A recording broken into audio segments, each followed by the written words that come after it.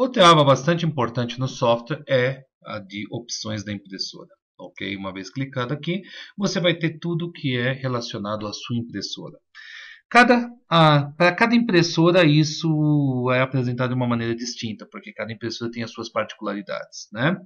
Então aqui, por exemplo, aqui temos uma, temos uma Muto, e como temos esta Muto, é, temos essas, todas as opções aqui, por exemplo, de você definir a temperatura dos heaters ou dos aquecedores, uso do espectrofotômetro para a criação de perfil, quantidade de passadas, tudo isso até entrelaçamento. Tá? Mas isso depende muito de cada impressora. Tem algumas impressoras, por exemplo, algumas chinesas, que essa janela está praticamente sem nada, só tem um botãozinho falando que é restituir ao padrão ou voltar ao padrão, tá? Que não é o caso aqui, tá? porque não é a impressora chinesa.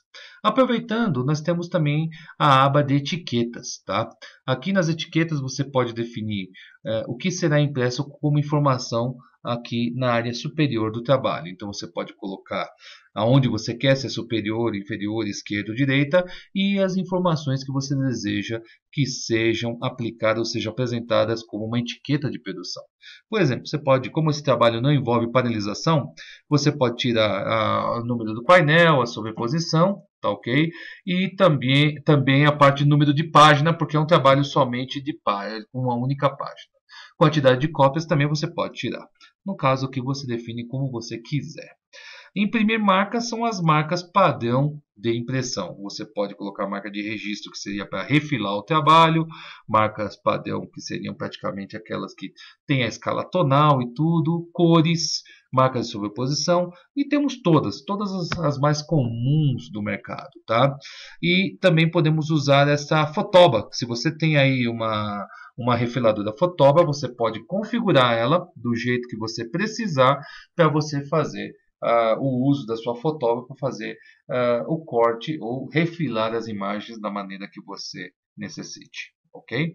Temos a linha de sobreposição de panelização, que isso aí é um outro tema que nós vamos falar depois, que é quando você tem panelização e você precisa marcar onde está a sobreimpressão, ou a sobreposição né, de cada um dos painéis, e imprimir banda de cor, que é uma ferramenta bastante importante para impressora solvente e ecosolvente porque se você está imprimindo um céu e não está usando, por exemplo, a cor preta, você pode ter a situação de a cabeça preta entupir. Então você pode vir aqui colocar, é, imprimir a banda de cor à direita, por exemplo, né? E com isso o que vai acontecer? Nós vamos sempre ter as quatro cabeças ou as oito cabeças, não sei quantas cabeças tem esse equipamento, imprimindo, mesmo que não estejam, não estejam sendo utilizadas, e com isso você nunca vai ter problema de entupimento.